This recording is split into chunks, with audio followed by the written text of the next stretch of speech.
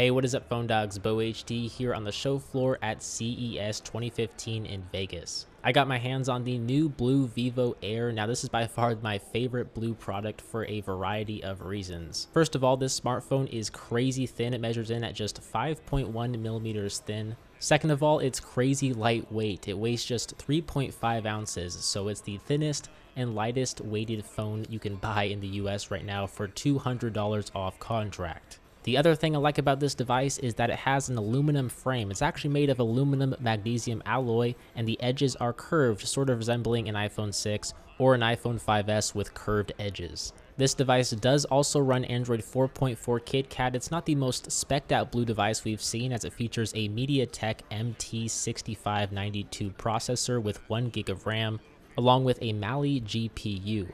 The screen you're looking at here is a 4.8 inch 720p display with a 5 megapixel front facing camera up here on the top.